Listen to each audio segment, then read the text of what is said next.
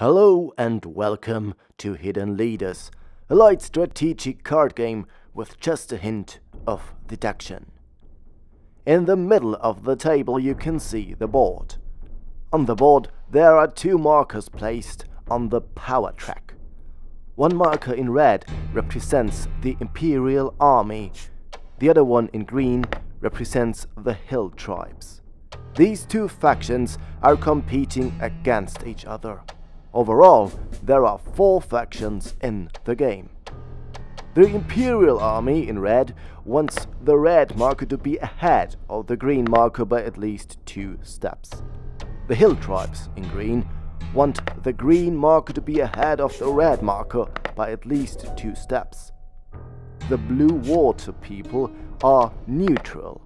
They want both markers to end up on the same space or on spaces next to each other. The Black Undead are evil and aim to escalate the conflict. They want both markers to end up in the war zone marked in black. At the end of the game, only one of the four factions is going to win. The six leader cards are giving the game its name. Each player will draw one of these cards and keep it secret. Every leader is aligned with two of the four factions. Only with these two factions the leader is able to win. In the end of the game, every leader who has the winning faction, that is red, green, blue or black, on that card can claim the victory. However, several leaders can have the same color. Then only the leader who has the most heroes of this color wins and will become the new Emperor of Osra. So, how do you influence the markers to make your leader win? Let's look at a player's turn. You always start with three hand cards. Firstly, you play one card from the hand and trigger its effect.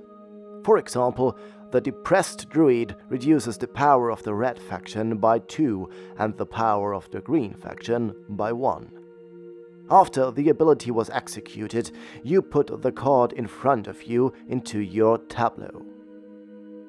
Secondly, you draw heroes until you've got four hand cards. You can draw them from the open tavern or from the deck. What combination you choose is up to you.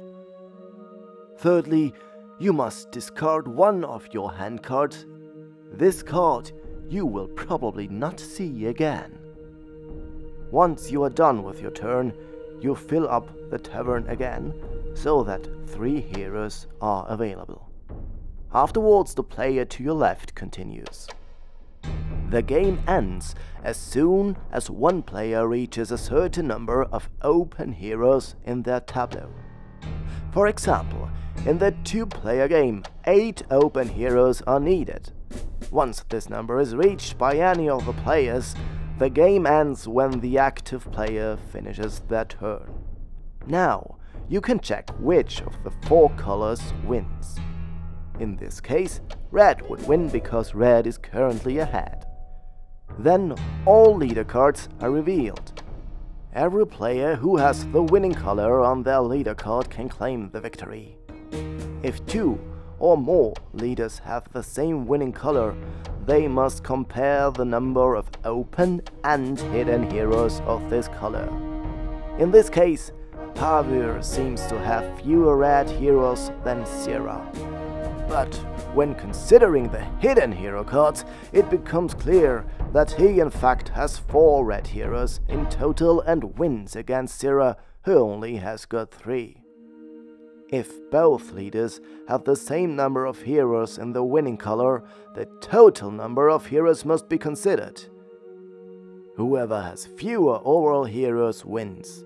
In this example, Pavur has 10 heroes and Syrah only has got 7. Therefore, Syrah wins. Now you know how to play. So let's take a look at how to set up the game. When you start Tabletopia, you will already find the red and green marker on the starting position. Also, The deceased emperor who recently died is found in the graveyard.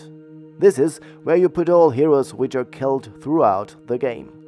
Please don't forget to shuffle the deck and the leader cards or you risk playing the exact same game twice. Now put 3 hero cards in the tavern. Then pick the correct assistance card depending on the number of players. You will either need 8, 7 or 6 open heroes to end the game. Place it in the middle of the table so that everyone can see when the game will end. Now draw your leader card. It will tell you your goal. Therefore keep it secret from the other players. Afterwards, you draw 5 cards from the deck. You have to discard one of these heroes into the outskirts. Choose a card that you probably will not need. Another card will be played hidden into your tableau.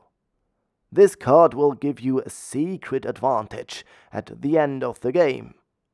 Now you are all set, and the player who feels most confident about the game starts.